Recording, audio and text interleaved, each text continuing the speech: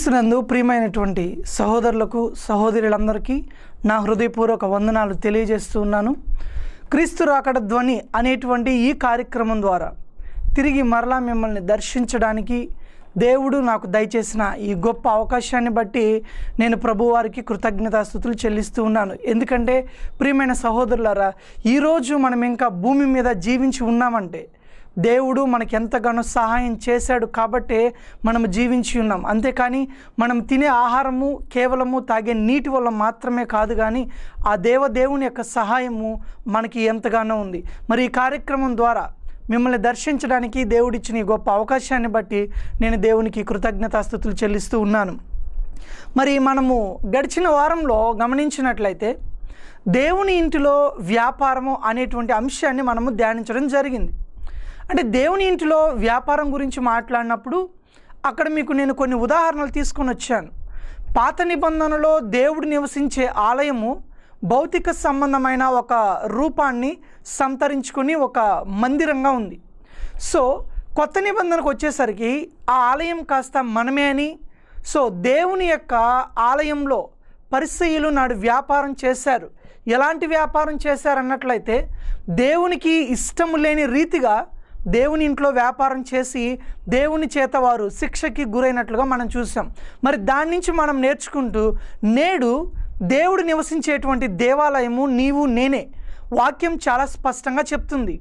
మీరు దేవుని యొక్క ఆలయమై ఉన్నారనియు దేవుని ఆత్మ మీలో నివసిస్తున్నాడు కాబట్టి హృదయం అనేటువంటి ఈ ఆలయంలో కూడా వ్యతిరేక సంబంధమైనవి అనగా వాక్యాన్ని గాయపరిచేవి వాక్య వ్యతిరేకమైన వ్యాపారాలు మన హృదయంలో ఉండకూడదని గత వారం తెలుసుకున్నాం. అంతేకాదు హృదయంలో మోహపు చూపులతో చూసేటువంటి ఆలోచనలు పాపానికి రహస్యంగా చోటిచ్చేటువంటి విధి విధానాలు దేవుణ్ణి గాయపరిచే ఏ పరిస్థితుల్ని కూడా మనము అనుమతించకూడదు అని చాలా స్పష్టంగా మనం తెలుసుకోవడం జరిగింది. అది దేవుని ఇంటిలో వ్యాపారం. గడిచిన వారంలో నేను చెప్పిన అంశం. మరి ఈరోజు నేను తీసుకొచ్చే అంశం ఏంటంటే దేవునితోనే వ్యాపారం. ఇది వినడానికి చాలా వింతగా అనిపించవచ్చు. కానీ మనం ఈ వాక్యాన్ని ధ్యానిస్తూ పోయేకుంది మనకు అర్థమవుతుంది. దేవునితో వ్యాపారం అంటే అర్థం ఏంటంటే దేవుడిచ్చినటువంటి సంబంధమైన విషయాలు. దేవుడు మనకు అనుగ్రహించిన వాటితో చేసే వ్యాపారం. వాటిని గురించి ఈరోజు నేను మీకు తెలియజేయాలని అనుకుంటున్నాను. ఎందుకంటే ప్రియమైన సహోదరులారా లేఖనము చాలా స్పష్టంగా చెప్తుంది. మనము కడవరి దినములలో ఉన్నాము కాబట్టి మీ యొద్దకు వచ్చే ప్రతి ఒక్క వాక్యాన్ని నమ్మక ఆయా ఆత్మలు దేవుని సంబంధమైనవో లేదా లోక సంబంధమైనవో పరిశీలన చేసి మీరు వాక్యాన్ని అంగీకరించాలని మనకి యోహాను భక్తుడు చాలా స్పష్టంగా తెలియజేస్తూ ఉన్నాడు. అయితే ఈ రోజుల్లో విచారకరమైన విషయం ఏంటంటే చాలామంది వాక్యంలో ఏమి చెప్పబడిందో వాళ్ళు వాక్యాన్ని తీసుకొని విన్న వాక్యాన్ని పోల్చి చూసుకునే వాళ్ళు తక్కువగా ఉన్నారు. కారణం ఏంటంటే ఈ బిజీ ప్రపంచంలో మనము డైలీ ఉన్నటువంటి ఈ జీవిత విధానంలో జీవవాక్యానికి సమయం ఇచ్చేవాళ్ళు చాలా తక్కువగా ఉన్నారు. చూడండి లోక సంబంధమైన కార్యాలు ప్రాముఖ్యమైనవే. నేను కాదని చెప్పడం లేదు. ఈ జీవితంలో మనం బ్రతకాలంటే లోక సంబంధమైన పనులు చాలా ప్రాముఖ్యంగా జరిగించాలి. అయితే ఒక్క మాట ఏంటంటే తాత్కాలికమైన దానికే ఇంత ప్రాధాన్యత ఇవ్వగలిగినప్పుడు మరి శాశ్వతమైన జీవాన్ని అనుగ్రహించే ఈ వాక్యం విషయంలో మరి ఇంకెంత జాగ్రత్త మనం వహించాలి ప్రియ సహోదరులరా? కనుక ఈ కడవరి దినములలో ప్రతి వాక్యాన్ని మనం పరిశీలన చేయాలి. వాళ్ళు ఎంత పెద్ద సేవకులైనా కానీ వాళ్ళ మీటింగ్కి కొన్ని వేల మంది రావచ్చు కొన్ని లక్షల మంది కూడా అటెండ్ అవ్వచ్చు. అయితే ఏం నష్టం లేదు. బైబిల్ ఏం చెప్తుంది? నాశనమునకు పోవు ద్వారము వెడల్పు. ఇరుకు మార్గము చాలా తక్కువ మంది వస్తారని చెప్తుంది. కనుక ఎక్కువ మంది వెళ్ళినంత మాత్రాన ఏ వాక్యాన్ని కూడా అదే విధంగా తీసుకోవడానికి వీల్లేదు సో ఈరోజు కూడా నేను మీ ముందుకు తీసుకొచ్చే అంశంలో దేవునితో వ్యాపారం అంటే దేవుడే ఒక వ్యాపార వస్తువు నేటి సమాజంలో. ఇది వినడానికి కొంచెం వింతగా అనిపించినా దేవుణ్ణి అడ్డం పెట్టుకుని వ్యాపారం చేసే మహాగనులు నేటి సమాజంలో చాలామందే ఉన్నారు. మరి క్రైస్తవ సమాజంలో మరింత అధికముగా దేవుణ్ణి అడ్డం పెట్టుకుని వ్యాపారం చేస్తారు. అన్యజనులు ఒక విగ్రహాన్ని రూపించి ఇది దేవుడని చెప్పి దాని ద్వారా డబ్బు సంపాదించిన రీతిగానే దానికి ఏమాత్రం తీసిపోకుండా నేటి క్రైస్తవ సమాజంలో కూడా జీవము గల దేవుణ్ణి అడ్డం పెట్టుకుని వ్యాపారం చేసే క్రైస్తవ వ్యాపారులు నేటి దినాల్లో అధికమయ్యారు. మరి ఎలా దీన్ని మనము అర్థం చేసుకోవాలి అని మనం ఆలోచించినట్లయితే ఒక మాట మీకు తెలియజేస్తాను. రెండవ తిమోతికి రాసినటువంటి పత్రిక మూడవ అధ్యాయము ఒకటి రెండు వచనాలు మనం చూస్తే అక్కడ పౌలు తిమోతికి రాస్తూ ఇలా అంటున్నాడు. ఏమని అంటున్నాడంటే అంత్య దినములలో అపాయకరమైన కాలాలు వస్తాయి. నువ్వు తెలుసుకోవాలి దాన్ని. నువ్వు ఖాళీగా ఉన్నట్టుగా లోకము సాధారణంగా జరిగిపోతుంది అనుకోవడానికి లేదు. లేఖనము చాలా స్పష్టంగా చెప్పింది అంత్య దినములలో అపాయకరమైన కాలాలు వస్తాయని నువ్వు తెలుసుకోవాలి. రెండోది ఏమని తెలుసుకోవాలని అన్నట్లయితే మనుష్యులు స్వార్థప్రియులు ధనాపేక్షులు అనే పదాన్ని గురించి ఈరోజు నేను మాట్లాడబోతున్నాను. ధనాపేక్షులు కడవరి దినములలో డబ్బు సంపాదించాలన్న యావ అనేకులకు చాలా ఎక్కువైపోతుందని బైబిల్ చాలా స్పష్టంగా చెప్పింది. నేటి దినములలో డబ్బు కోసము ఎంతకైనా తెగించేటువంటి వాళ్ళు నేటి దినముల్లో ఉన్నారు. మరి ఇప్పటి మానవ జాతిని చూసుకున్నట్లయితే దేవుడు లేఖనంలో ఒక చాలా స్పష్టమైన మాట తెలియజేశాడు. ఏంటో తెలుసా? మనుష్యులను గురించి జాగ్రత్త పడండి అన్నాడు. ఎందుకంటే ఆయన క్రూర మృగాలను గురించి జాగ్రత్తగా ఉండనని చెప్పలేదు. లేదంటే భూకంపాలను గురించి జాగ్రత్తగా ఉండనని చెప్పలేదు. ఉపద్రవాల గురించి జాగ్రత్తగా ఉండమని చెప్పలేదు. మనుషుల గురించి జాగ్రత్తగా ఉండమన్నాడు. ఎందుకంటే చనిపోయిన మనిషితో కూడా వ్యాపారం చేయగలడు నేటి మానవుడు. చనిపోయిన మనిషిని అడ్డం పెట్టుకొని వ్యాపారం చేయగలడు. బ్రతుకున్న మనుషుల్ని అమ్ముకొని వ్యాపారం చేయగలడు. దేనినైనా రాజకీయం చేయగలడు. మరణాలను రాజకీయం చేయగలరు. దేనినైనా కూడా తన అవసరానికి తగ్గట్టుగా వాడుకోగల కుయుక్తి కలిగినటువంటి మానవుడు నేటి దినాన ఉన్నాడు. అందుకే దేవుడు అన్నాడు మనుషులను గురించి జాగ్రత్త పడండి. సో ఈ మనుష్యులు కడవరి దినాలలో ఎలా తయారవుతారంటే ధనాపేక్షులుగా తయారవుతారని బైబిల్ చాలా స్పష్టంగా చెప్తుంది.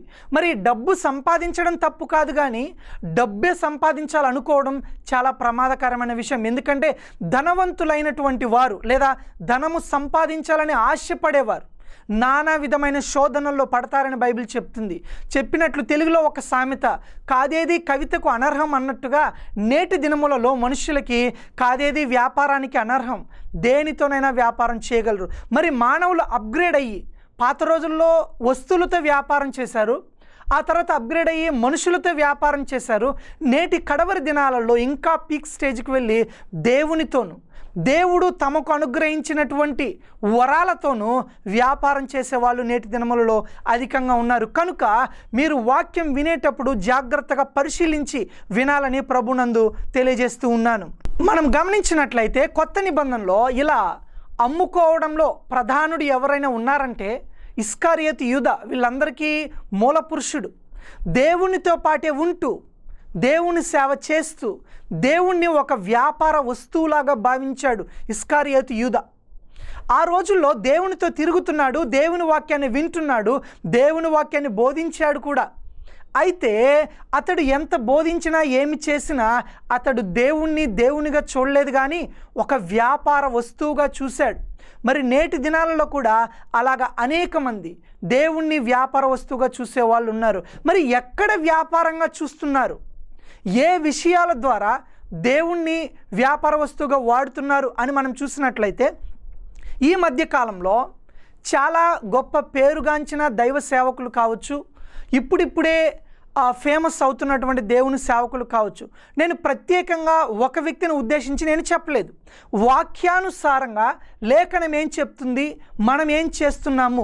అన్న విషయాలను బేరీజు వేసి నేను దీన్ని మాట్లాడుతున్నాను. అంతేగాని దేవుని వాక్యం కొరకు నిజంగా శ్రమపడే ఏ వ్యక్తిని కూడా విమర్శించడానికి నాకు హక్కు లేదు. ఆ అధికారం కూడా నాకు లేదు. అయితే లేఖనానుసారంగా లేని వాటిని ఖండించమని గద్దించమని బుద్ధి చెప్పమని వాక్యం వైపు మళ్ళింపజేయమని వాక్యం చెప్తుంది కాబట్టి నేను మీకు తెలియజేస్తున్నాను. మరి ప్రాముఖ్యంగా క్రైస్తవులు ఎక్కువగా ఎక్కడ వ్యాపారం చేస్తున్నారని అన్నట్లయితే స్వస్థతలకు స్వస్థత పొందే విషయంలో చాలా ఎక్కువగా నేటి దినములలో వ్యాపారం అనేది జరుగుతుంది.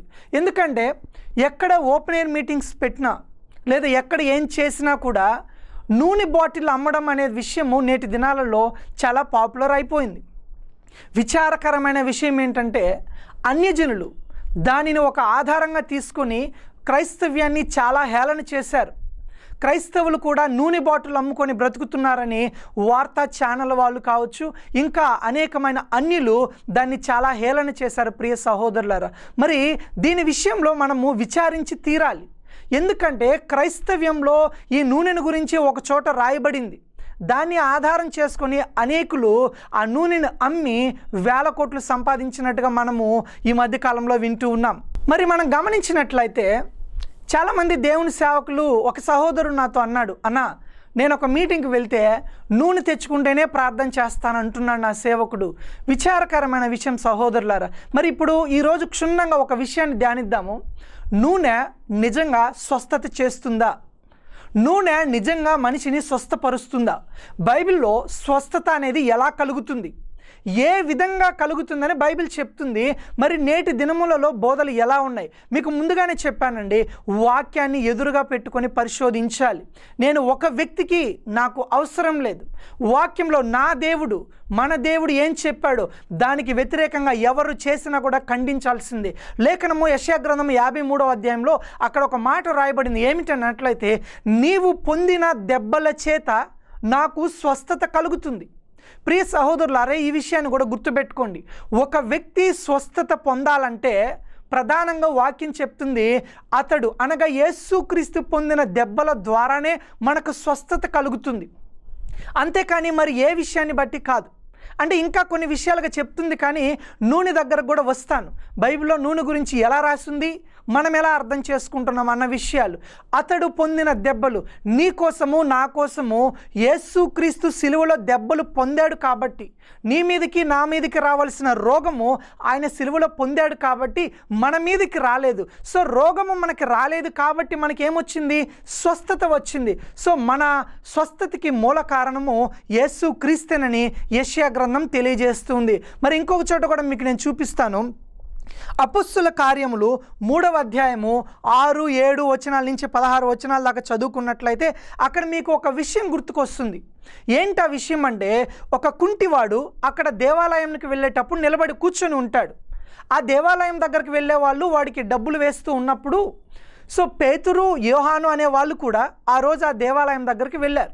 వెళ్ళినప్పుడు వాడు వాళ్ళని భిక్షం ఎత్తుకొని అడుక్కుంటున్నాడు. అయ్యా నాకేమన్నా దానం చేయండి అని. సో వెళ్ళే వాళ్ళందరూ కూడా ఏదో రొంత వేస్తున్నారు వెళ్తున్నారు. అది వాడి జీవన విధానం. అయితే పేతురు యోహాను అతన్ని చూసి ఇలా అంటున్నారు ఏమని? నజరేయుడైన ఏసునామంలో లేచి నడువు అని అన్నప్పుడు వాడు లేచి నడిచాడు. సో చుట్టుపక్కల ఉన్న వాళ్ళందరూ వచ్చేసి ఇది ఏంటి వింత? ఇది ఎలా జరిగింది? అని వాళ్ళు సందేహంలో ఆశ్చర్యానికి లోనైనప్పుడు అప్పుడు పేతురు అన్నటువంటి మాటను మీకు నేను గుర్తు చేస్తున్నాను.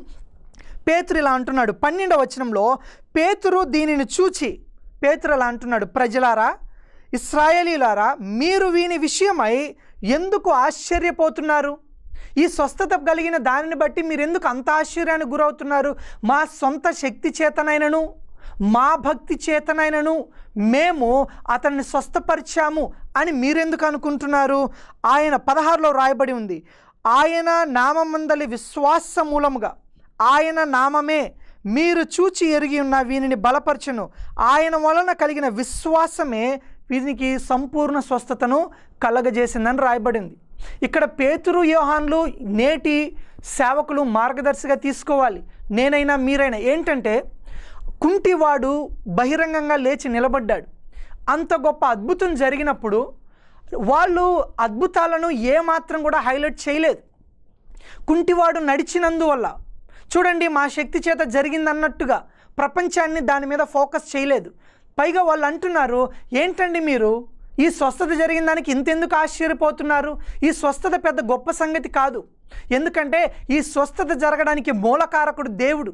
ఆయన్ని చూసి మీరు ఆశ్చర్యపోవాలి కానీ స్వస్థతను చూసి కాదు అని యొక్క పేతురు చాలా చాలా గొప్పగా మాట్లాడుతున్నాడు. కానీ నేటి దినాలలో సాక్ష్యం అంటే మనకు స్వస్థతలు తప్ప వేరే ఏమీ కనబడకుండా పోయింది. నా ఉద్దేశంలో దేవుడు స్వస్థతలు చేయడని కాదు. దేవుడు స్వస్థతలు చేయగలడు. ఆయన శక్తి కురచ కాలేదు. కానీ నేటి దినాలలో సాక్ష్యం అంటే అప్పులు తీరిపోవడము స్వస్థతలు కలగడమే కానీ మనస్సులు మార్పు చెందడం అనేది చాలా తక్కువగా వింటూ ఉన్నాం ప్రియ సహోదరులారా. సో పేతురుని మనం గమనించినట్లయితే ఆయన అంటున్నాడు ఇతనికి స్వస్థత రావడానికి కారణము అతడు దేవుని ఎందు ఉంచిన విశ్వాసమే. మాదేమీ లేదంటున్నాడు. కానీ వీళ్ళు ఏమన్నారు ఏసునామంలో లేచి నడు అన్నారు. వాళ్ళు విన్నారు లేచి నడిచాడు. కానీ నేటి దినాలలో ఇది చాలా మనం బాధపడాల్సిన విషయము. ఆ స్వస్థతని హైలైట్ చేసి బోధకులే హైలైట్ అవుతూ అలా స్వస్థత జరిగించిన దేవుని ప్రక్కకు నెట్టివేయడం అనేది చాలా విచారకరం. ఎక్కడ చూసినా స్వస్థత జరిగింది స్వస్థత జరిగింది. ఎక్కడ? శరీరానికి జరిగిందే కానీ మనస్సుకు జరిగింది ఎక్కడండి? ప్రియ సహోదరులరా భారతదేశంలో రెండు పాయింట్ మూడు కోట్ల మంది క్రైస్తవులు ఉన్నారు. హిందువులు ఎనభై శాతం మంది ఉన్నారు. ముస్లింలు పన్నెండు పాయింట్ నాలుగు శాతం మంది ఉన్నారు. ఇతరులు మిగిలిన శాతం ఉన్నారు. రెండు వేల సంవత్సరాలుగా స్వస్థతలు జరుగుతూ ఉంటే ఎందుకు కేవలం రెండు పాయింట్ నాలుగు శాతమే మన మన క్రైస్తవులుగా ఉండిపోయాం. స్వస్థతలు శరీరానికే జరిగాయి కానీ మనస్సుకు జరగలేదు. వచ్చిన ప్రతి సేవకుడు కూడా శరీరానికి స్వస్థతలు చేసిందే గొప్ప చేశాడు కానీ మానసిక స్వస్థతలు మనస్సు మారని విషయాలను గురించి నేటి దినాలలో చాలా తక్కువగా వినబడుతుంది. కనుక ప్రియ సహోదరులారా స్వస్థత అనేది దేవుడు చేస్తాడు. అందులో సందేహం లేదు. కానీ దేవుడు పొందిన దెబ్బల వలన స్వస్థత కలుగుతుంది విశ్వాసం వలన స్వస్థత కలుగుతుందని మనం తెలుసుకోవాలి. మరి ఇంకొక విషయాన్ని కూడా మనము గమనించినట్లయితే ఈ రోజుల్లో నూనెలు అమ్మడానికి ఆ నూనెలు అమ్మి డబ్బు సంపాదించడానికి ప్రధానమైన కారణం ఏంటంటే బైబిల్లో ఒక చోట రాయబడింది. ఎక్కడ రాయబడింది అంటే మీరు చూడండి. యాకోబు రాసినటువంటి పత్రిక ఐదవ అధ్యాయము పద్నాలుగు పదహైదు వచనాలు.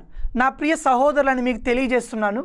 ఎవరైతే ఈ వాక్యం వింటున్నారో దయచేసి మీ బైబిల్ ఒక్కసారి తీసి చూడండి. మీరు ఖచ్చితంగా ఈ వాక్యాన్ని బైబిల్లో ఏమని రాసిందో మీరు చదవాలి. నా కోసం వాక్యాన్ని ఒకసారి చూడండి ప్రభువునందు. ప్రియ సహోదరులారా యాకోబు ఐదు పద్నాలుగు పదహైదులు ఇలా ఉంది. ఎందుకంటే ఈ వాక్యాన్ని ఆధారం చేసుకొనే నేటి విశ్వాసులు క్రైస్తవులు ఇంకా సేవకులు నూనె బాటిల్ మీద వ్యాపారం చేస్తున్నారు. మరి ఇదే కదా ఆధారం? సో ఈ ఆధారంలో ఏముందో చూద్దాం. మీలో ఎవడైనను రోగి అయి ఉన్నాడా? అతడు సంఘపు పెద్దలను పిలిపింపవలను. వారు ప్రభునామమున అతనికి నూనె రాచి అతని కొరకు ప్రార్థన చేయవలను. విశ్వాస సహితమైన ప్రార్థన ఆ రోగిని స్వస్థపరచును. ప్రభు అతని లేపును అతడు పాపాలు చేస్తే పాప క్షమాపణ పొందుతాడు.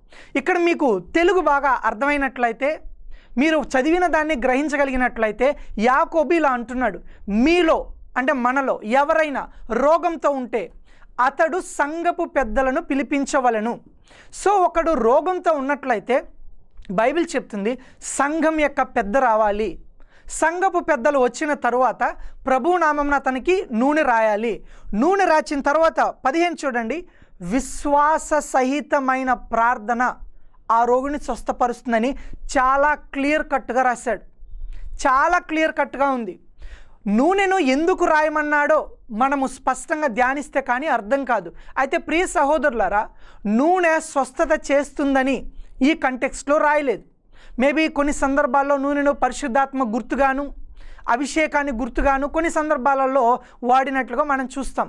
అయితే ఇక్కడ దేవుని యొక్క శక్తి మనం గమనించినట్లయితే ఇలా మాట్లాడుతున్నాడు విశ్వాస సహితమైన ప్రార్థన ఆ రోగిని లేపుతుంది. అంతేకాని నూనె కాదు. ప్రియ సహోదరులు కొంచెం గుర్తుపెట్టుకోండి. వాక్యం ఏం చెప్తుందో గమనించండి. విశ్వాస సహితమైన ప్రార్థనే మనిషిని లేపుతుంది అతని పాపాలను క్షమిస్తుంది కానీ నూనె కాదు. మరి అపస్తుల్లో దాన్ని చెప్పడం వెనక అంతర్యార్థం ఏందో మనము మరింత లోతుగా ధ్యానిస్తే కానీ మనకు అర్థం కాదు. అయితే ఒకటి మాత్రం స్పష్టత ఉంది. నూనె మనిషిని కేవలము స్వస్థపరచలేదు. ఆ నూనె పూసినప్పుడు మానవుడు చేసే విశ్వాస సహితమైన ప్రార్థన మాత్రమే స్వస్థపరుస్తుంది. మరి ప్రియ సహోదరులారా నేటి దినములలో విశ్వాసులు ఈ వాక్యాన్ని చాలా పొరపాటుగా అర్థం చేసుకున్నారని నాకు అనిపిస్తుంది. ఎందుకంటే ఎక్కడ ఓపెన్ ఎయిర్ మీటింగ్స్కి వెళ్ళినా కూడా వాక్యం ఏం చెప్తారు? దాన్ని విందాం. దేవుని వాక్యాన్ని మనము తెలుసుకుందాం అని వినేటువంటి వాళ్ళు చాలా తక్కువగా ఉన్నారు ప్రియ సహోదరులారా. ఎప్పుడు స్వస్థత జరుగుతుంది? ఈ స్వస్థతలే మూలాధారం అయిపోయాయి కానీ దేవుడు పక్కకి తప్పించబడ్డాడు. కనుక ప్రియ సహోదరులారా ఈ వాక్యాన్ని కనుక మీరు విన్నట్లయితే నేటి దినములలో దానిని అడ్డం పెట్టుకుని వ్యాపారం చేసుకునే వాళ్ళు చాలామంది ఉన్నారు. మీరు అనొచ్చు బ్రదర్ మీరు చాలా తప్పుగా మాట్లాడుతున్నారని. ఒకవేళ నేను తప్పే అనుకోండి బైబిల్ ఇలా రాయబడి ఉంది ఆ దినమందు అనేకులు వచ్చి ప్రభువా మేము మీ నామమున స్వస్థతలు అద్భుతాలు చేయలేదా? ప్రవచనాలు చెప్పలేదా? మరి ఈ కడవరి దినాలలో అలాంటి గ్రూపే గనక లేకపోతే వాళ్ళు ఎక్కడి నుంచి వచ్చారండి? వాళ్ళు మనుష్యులు కాదా? వాళ్ళు సేవకులు కాదా? మరి ఆ సేవకులు ఏ గ్రహం నుంచి వచ్చారు? భూగ్రహం నుంచే కదా. మరి కడవరి దినములలో అలాంటి వ్యక్తులు వస్తారని బైబిల్ చాలా స్పష్టంగా చెప్పింది. కనుక మనుషులు ఎక్కువగా వచ్చినంత మాత్రాన వేల మంది వచ్చినంత మాత్రాన మనము నమ్మడానికి వీల్లేదు. అయితే నిజముగా అభిషేకం నొందిన దైవజనుల్ని మనం విమర్శించడానికి హక్కు లేదు. వాళ్ళు దేవుని రాజ్యం కొరకు ప్రయాసపడుతున్నారు. అయితే తోడేలు చర్మం కప్పుకున్నటువంటి గొర్రెలు ఉన్నారు నేటి దినాలలో గొర్రె చర్మం కప్పుకున్న తోడేళ్ళు వాళ్ళు వచ్చి మందని చీల్చుకొని వెళ్తూ ఉన్నారు. కనుక జాగ్రత్తగా గమనించాలి. నూనె మనుషుల్ని స్వస్థపరచలేదు. నీకు అనారోగ్యంగా ఉందా? అయితే దేవుని యొద్దకు వెళ్ళు. ప్రభువా నేను అనారోగ్యంతో ఉన్నాను నన్ను స్వస్థపరచు. నీ ప్రార్థన వినడా దేవుడు? ఆయన ప్రార్థన వినేటప్పుడు మనకి విశ్వాసం లేదు. మనకంత ప్రార్థన చేసే టైం కూడా లేదు. ఏంటంటే రెడీమేడ్గా జరిగిపోవాలి. చాలా దుఃఖకరం ఏంటంటే విశ్వాసులు కూడా నేటి దినాలలో దేవుని యొద్ద నుంచి ఒకటి పొందుకోవడానికి ఎలా ఆశిస్తున్నారంటే రెడీమేడ్గా ఆశిస్తున్నారు. అంటే త్వరగా దొంగచాటుగా పొందుకునేయాలి. ఎలాంటి శ్రమ ఉండకూడదు. ఎలాంటి బాధపడకూడదు. మీరు కొత్త నిబంధనలో చూస్తే గారడీవాడైన సీమోన్ ఒకడు ఉన్నాడు వాడు గారడీ చేస్తూ మనుషుల్ని చాలా మభ్యపెడుతూ ఉంటాడు. అప్పుడు ఫిలిప్ వచ్చి ఇలా అంటాడు ఏమని? ఇలా దేవుని రాజ్యాన్ని విశ్వసించడని చెప్పినప్పుడు ఫిలిప్ ద్వారా చాలా అద్భుత కార్యాలు జరుగుతాయి. మరి ఆ గారడీవాడైన సీమోను కూడా ఒక సందర్భంలో మరి శిష్యులతో ఇలా అంటాడు నేను డబ్బిస్తాను నాకు ఆ వరం ఇస్తారా? అనని ఈ యొక్క గారడీవాడు అన్నట్టుగా మనం చూడొచ్చు. అంటే డబ్బుని తీసుకొని దేవుని వరాన్ని సంపాదించుకోవాలని అనుకుంటున్నాడు అతను. డబ్బు తీసుకొని దేవుని వరాన్ని. సహోదరులారా నూనెతో మీరు దేవుని యొద్ద నుంచి స్వస్థతని సులువుగా పొందేయచ్చని అనుకుంటున్నారా? వాక్యం అలా చెప్తుందా? మరి ఒకవేళ అలా సంపాదించుకోవాలన్న ఆలోచన మనకు వచ్చిందంటే ఎవరైతే అదే ఆలోచన అంటే నూనె ద్వారా నాకు స్వస్థత వచ్చేస్తుంది దేవుడు నాకు ప్రాముఖ్యం కాదు నూనె ఆ నూనె తగిలితే చాలు నేను మారిపోతాను అని విశ్వాసంను దేవుని మీద నుంచి నూనె మీదకి మళ్ళించిన వాళ్ళు గారడి సీమోనులే. ఎందుకు? గారడి సింహను డబ్బిచ్చి వరాన్ని సంపాదించుకోవాలన్నట్టుగా నువ్వు డబ్బులిచ్చి కొనుక్కొని నూనె ద్వారా సంపాదిస్తున్నావు. పెద్ద తేడా ఏం లేదండి. కనుక ప్రియ సహోదరులారా లేఖనానుసారంగా మనం చూసినట్లయితే నూనె కాదు స్వస్థపరిచేది దేవుడే. కేవలం సేవకుడు కాదు. అట్టయితే అపస్తుడైన పౌలు పేతురు వీళ్ళు చెప్పాలి మా వల్ల జరిగిందని. కానీ వాళ్ళు అలా చెప్పకపోగా ఈ ఆశ్చర్యాన్ని మీరు అంత ఆశ్చర్యపోవడం అవసరం లేదు. ఆయన నామమును చూడండి. ఆయనే స్వస్థత చేశాడు అని వాళ్ళు ఎంతో గట్టిగా వాక్యాన్ని గుద్ది చెప్పారు ప్రియ సహోదరులారు. మరి చివరిగా మనం గమనించినట్లయితే మరి ఒక మాట కూడా లేఖనంలో చెప్పబడింది. మీరు ఆ విషయాన్ని చూడండి. మత్తయి సువార్త పదవ అధ్యాయం ఎనిమిదవ వచనంలో ఇలా రాయబడి ఉంది. రోగులను స్వస్థపరచండి. చనిపోయిన వారిని లేపండి అని చెప్పుకుంటూ వచ్చి చివరిగా అన్నాడు. ఉచితముగా పొందితిరి ఉచితముగా ఈయుడి దేవుని యొద్ద నుంచి స్వస్థత వరాన్ని లేదా ఒక బహుమానాన్ని పొందడానికి నువ్వు ఎంత ఖర్చు పెట్టావు? దేవుడికి ఎంత డబ్బు ఇచ్చావు నీ దగ్గర దేవుడు ఎంత డబ్బు తీసుకున్నాడు? ఉచితంగానే కదా ఇచ్చాడు. మరి నువ్వు దేవుని యొద్ద నుంచి ఉచితంగా పొందిన వాడివి స్వస్థతని అడ్డం పెట్టుకొని డబ్బు కమ్ముకోవడం సిగ్గుచేటు కాదంటారా? ప్రియ సహోదరులారా బైబిల్ నేను రాయలేదండి. బైబిల్ నేను రాయలేదు. వాక్యం అంటుంది ఉచితంగా పొందారు కదా ఉచితంగా ఇవ్వండి. స్వస్థత ఒకడు రో రోగంతో బాధపడుతున్నాడా? ఉచితంగా ప్రార్థించాలి. ఉచితంగా కన్నీరు విడవాలి. ఇంకేదైనా అనారోగ్య స్థితిలో ఉన్నారా? ఉచితంగా ప్రయాసపడాలి. దేవుడు ఇచ్చినటువంటి ఆ వరాన్ని దేవుని యొద్ద నుంచి ఉచితంగా పొందిన దాన్ని డబ్బుకు అమ్ముకుంటే రేపటి రోజున మనకి రాబోయే శిక్ష ఆలస్యం చేయదు. ప్రియ సహోదరులారా ఇలా దేవుణ్ణి అమ్ముకున్నటువంటి ఇస్కారియేతు యూద పైనుంచి కిందికి పడి బద్దలైపోయి పేగులు బయటకు వచ్చేలా చనిపోయాడు. దేవునితో వ్యాపారం చేసిన దేవుడిచ్చినటువంటి తలాంతులతో అనగా మోసం చేసేలాగా దాని ద్వారా ఆధారం చేసుకుని డబ్బు సంపాదించాలన్న యావ కలవారై దేవుని ఒక వ్యాపార వస్తువుగా చూస్తే దేవుని యొక్క శిక్ష భయంకరంగా ఉండబోతుంది సహోదరులారా. కనుక విశ్వాసులకు కూడా ప్రభునందు తెలియజేస్తూ ఉన్నాను. అమ్మా అనారోగ్యంతో ఉన్నావా? నీ రూమ్లోకి వెళ్ళు గడిపెట్టు ప్రార్థించు. దేవా నేను అనారోగ్యంతో ఉన్నాను నన్ను స్వస్థపరచు. విశ్వాసంలో ఎదగండి. దేవుని ఎద్ద నుంచి సమాధానాలు పొందండి. అంతేకాని నూనె ద్వారా నా దేవుని మీద నుంచి విశ్వాసాన్ని నూనె మీదకు మళ్ళించొద్దమ్మా. దేవుడు మన కొరకు ప్రాణాలు ఇచ్చాడు. దేవుడు మన కొరకు తన రక్తాన్ని ధారబోశాడు.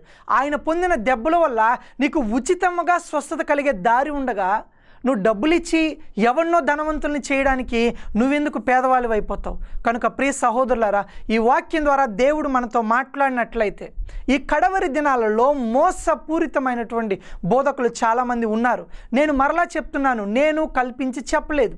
బైబిల్ చాలా స్పష్టంగా చెప్తుంది అంత్య దినములలో అపహాసకులు వస్తారని. అబద్ధ బోధకులు వస్తారని మన వలన లాభము సంపాదించుకుంటారని కూడా బైబిల్ చాలా స్పష్టంగా చెప్తుంది. పేతురు కూడా అంటాడు రెండవ పేతురు రెండవ అధ్యాయం మూడవ వచనంలో వారు అధిక లోబులై కల్పన వాక్యాలు చెప్తూ మీ వల్ల డబ్బు సంపాదించుకుంటారు. మీ ధనంతోటే వాళ్ళని ధనవంతులను చేస్తారు. అలా ఉండకూడదు. ఇది దేవుని ఇల్లు. దేవుని ఇంటిలో కానీ దేవునితో కానీ దేవుడిచ్చినటువంటి తలాంతులతో కానీ వాక్య వ్యతిరేకమైన వ్యాపారాలు చేయకూడదు. ఉచితంగా పొందామా? ఉచితంగా ఇవ్వాలి. అంతేగాని సెలబ్రిటీస్ మాదిరిగా మనము రేట్లు కట్టుకోకూడదు. ఇది చాలా సిగ్గుపడాల్సిన విషయం సహోదరులారా. గొర్రెలకు మనము అందుబాటులో ఉండాలి. యేసు ప్రభుని ముట్టడానికి ఎవరికీ అడ్డం లేదు. యేసు ప్రభు సాక్షాత్తు దేవుడు.